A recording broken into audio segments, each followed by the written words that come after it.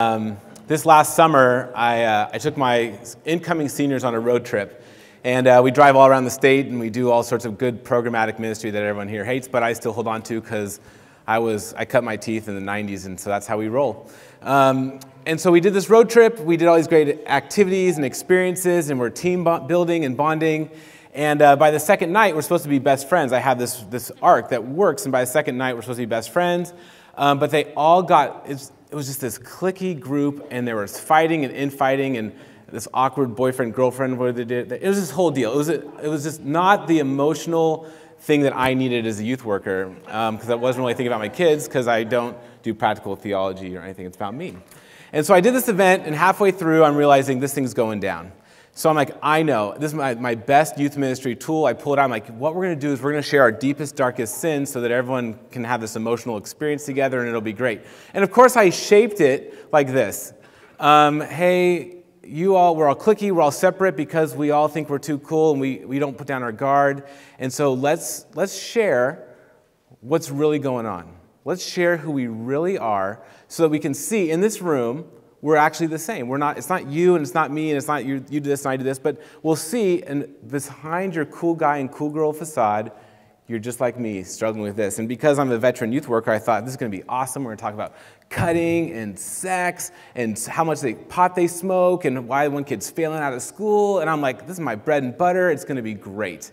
And, um, and we start going around the circle, and all these beautiful kids with their hip clothes and all of who they are, they all start breaking down crying. But not all the cool stuff I wanted to share. They all started breaking down crying because they're like, I feel so alone. I feel so depressed. I've struggled with anxiety. I had to start taking anxiety meds. I don't know where I fit in. And I'm looking at these kids, I'm like, you are beautiful, you are hip, everyone likes you. They don't see that everyone likes them, and they are spun out of control. And as I thought about this, what I thought was interesting because in that group, there are kids who cut, there are kids who smoke pot, there's kids who deal pot, there's kids who are sleeping together, all in that group. But what's interesting, what's changed, I've noticed in youth ministry, is why in which those things happen. Those things are no longer to be rebellious, they're no longer even for coping mechanisms. It is just simply part of their world. And uh, I love what you said, right, about this practical theology. So instead of just sitting and going, what do I do, and freak out, um, there's actually a way to engage that and a way to approach that. And I was actually really g- thankful that God is still not done with me yet, allowed me to get my head out of my butt a little bit and go, oh, this is actually for them, not about for you. And uh, we actually had a, a great turnaround event. But I learned a great lesson, which I want to share with you today, which is this idea of a post Christian model for discipleship. Do you know what this is? Anyone? What? Yeah, I thought it was Walt Disney, but you're right, it's Bill Bright. and um, there was this deal, um, and I'm going to go back just as far as the boomers. There might be people older than the boomers, but I'm not going to go back that far. But the deal is, the way in which we engage the gospel, especially in the evangelical world, has looked a really has looked away because of this guy. He tapped into this amazing felt need. And this was the amazing felt need, is we lived in this Judeo-Christian context, and uh, there were all these people, the, the, buster, the builders, you know, they, they fought World War II, they did this stuff, they created this world that was going to be beautiful and perfect, and, uh, my water, poor faith. They created this world that was going to be beautiful and perfect, and uh, the boomers rebelled. They're like, F this, man, we don't need that. Sorry for that. So they, they rebelled, they freaked out, all of them. They just went off the deep end. And, um, and they knew that there was this version of perfection and they rebelled against it. And Bill Bright came along and said, Oh my goodness, check this out. There's, there's four laws. God loves you and has a wonderful plan for life, but law number two, you are a sinful person. You broke um, God's law. Your sin, right? You, sin means you missed the mark. And every boomer would know they missed the mark. Their parents set a picture of what the mark was. They missed it. And now they knew that if they asked Jesus to forgive their sins, right? They would be, they would be forgiven. That debt would be paid. Their rebellion, that cost of the rebellion would be covered. And boomers love Bill Bright. I love Bill Bright. I mean, I did cut my teeth on Campus Crusade. I got my little four little spiritual laws packet. I even gave it to my grandma. That was super awkward. Um, but, but that's Bill Bright. Now, the boomers, you know, they kind of moved on and, um, and, and just wrecked shop for everybody else in the rebellion. And so us Xers and millennials, um, we don't have a picture of perfection anymore. We, this wasn't like, here's the world. We got, you know, this incredible high divorce rate, an incredible high abortion rate, an incredible high just selfish dis, just destruction. I got some issues with boomers. I'm working it out. I'm going to therapy. That's a side note. But what happened is next, but this justification, sin, that didn't really make sense to us. And uh, this guy came along and just like, oh, got us fired up. Rob Bell, he's so sexy. And, uh, but Rob Bell, he, he, he helped put language for uh, Gen Xers and millennials of this idea of brokenness and healing and redemption, right? We all hate that we just want to go to heaven someday. We can do whatever we want. God's going to forgive our sins. We're going to go to heaven. No, right? This is God's earth. It's redemptive. God's redemptive plan. He wants to heal us. He wants to use us in this redemptive plan to bring healing on the earth. Yes, it's so good. It's therapeutic. It's, it's because we have this, we still have a distant memory of how the world could be. It's a distant memory. The boomers jacked it for us, and so we have this like really felt need of, of needing to get fixed. And so we lean into this idea of healing and restoration. And we talk about the gospel and discipleship. It's about, you know, becoming healed. Jesus uh, being bruised for our iniquities. And, and we're like, yes, this is awesome. And it feels so good. And most people doing youth ministry are boomers and Xers. And so we just, we, we love it. We lay it down on our kids. And this is probably most of our theology. But I'm just going to ask you to think about, um, to differentiate yourself just a little bit. This is you, this is most of us. But think about our, um, the, the digitals. I don't know if that's the name they've landed on, or that's the one that's around, the X, Y, Z, who knows. But that's what we're calling for today. The digitals, what is their worldview? What is their perception of how things are? And um, I would like to contend that it is not sin, and they're, they're not rebels, and they don't need to be forgiven for their sin. And they're not even broken and need to be healed. I'm sure if you've had this conversation with your students and they get like two kids get in a fight, they don't go, say, say you're sorry and forgive and ask for forgiveness. It's me. This is who I am. This is how I've been made, and you deal with me. This is who they are. They are not sinful. They're not even broken. Now, as mature, godly people from the outside, we're like, you are sinful and you are broken. But what I would contend is actually they are not. They are alienated and they are isolated and they are alone. And so instead of trying to give them this gospel of justification or this gospel of redemption, I'm, I want to at least throw out there and, and, get some feedback from you. If, what if the gospel was actually this idea of adoption? Um, and, and to use this family model, we go, but our kids, their families are all jacked up. That doesn't matter. It's a family model, it's, it's a new paradigm in which to communicate the gospel. They, our students, are lost. They do all of those messed up stuff that we got all those books to learn how to deal with, because they, not because they're rebels, and not because they're broken, it's because they are lost. That is just simply the world in which they live in. And we have this gospel story of a God who leaves the comforts of heaven, comes to earth, and invades humanity and meets us on our terms.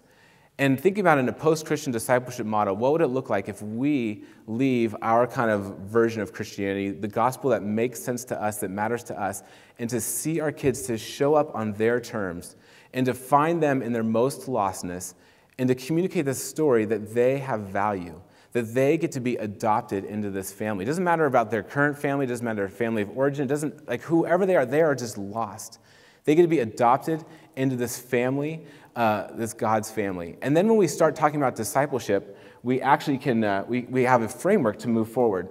So um, think of it this way when, when we're adopted into a family, there's, every family still has stories, they have customs, they have manners.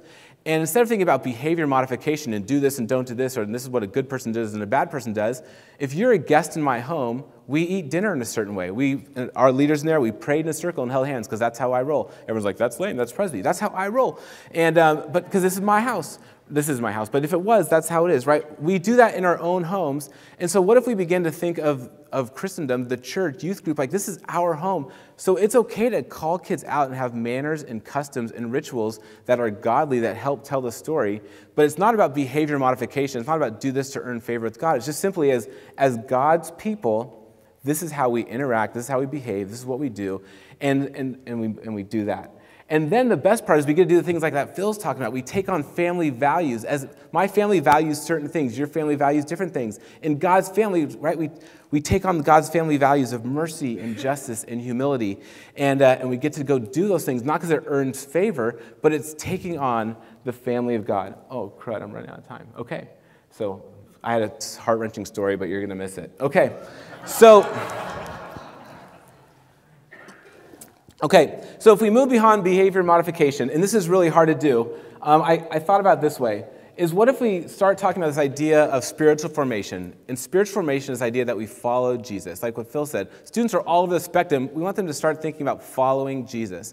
The next level in discipleship, though, I think, is how do we actually say, part of that discipleship process is picking up your cross, dying to yourself, which, it, which, which basically you're inferring that there's some interaction with God. There's some, not just me talking to God, it's not just me doing something, it's being reflective, thinking about working out who does God, who does God call me to do, be, what must I die to, and to begin to move towards Jesus. And uh, back in the good old days, at least in my world, everyone looked like me, acted like me, behaved like me. And if you want to know what being a Christian was, you simply got on this little arrow and you started moving towards Christ. Right? This is how it worked for me. You, you, you went to youth group, you, you got rid of your Alanis Morissette CD, you bought an Audio Adrenaline CD, you stopped cussing, and, uh, and then you turned out you had to vote Republican. I didn't even know that, but that's what you had to do. And then you were on this track, and then everyone knew, I'm moving towards Jesus. Yeah, yeah. Okay, but the deal is, if you look, and, and it's so funny, that only worked in this tiny sliver of Christianity, but they had all the publishing rights, so we missed out. The reality is, is all of the world has always been more complex than this. It has always been more diverse than this. And so we actually get to embrace that diversity and not just go, in order for you, random kid who has no idea about anything, you need to be like me and then follow me as I follow Jesus, which thanks for the boomers, thanks for that model. Um, we have this different model, which is simply we move towards Jesus. And now every path is unique. Some are closer, some are farther. But now we don't have to, you don't have to be like me. We just simply want people to get on the grid. Wherever you are on the grid, that is awesome. And help students begin to die to themselves, pick up their cross, and move towards Jesus. And I know if you're looking at me, you go, man, Ben, you have so much stuff to work on. I do. I'm working on my top level stuff, you, but you're like, no, there's other stuff. I know, I can't deal with it yet because I have my stuff that I'm working on. And if you're gracious with me in my way back here working it out, I can be gracious with you, even though I don't understand this part of the spectrum at all, um, as you work it out. Oh, dang. Okay. Do I have one more slide? Oh, I had this killer story. It didn't work. Okay. Okay, so I just simply wanted to throw that out. I know super quick and it's kind of hard to differentiate uh, from our students, but I just want to at least throw out from your feedback because this is, I want to make sure I'm not on the crazy train or in the heretic train, um, but just kind of interested in your feedback as far as the adoption model of the gospel, a family model of discipleship, um, how you see that working out in your context. Do you see kids that just are totally amoral like me, or you have better kids than me?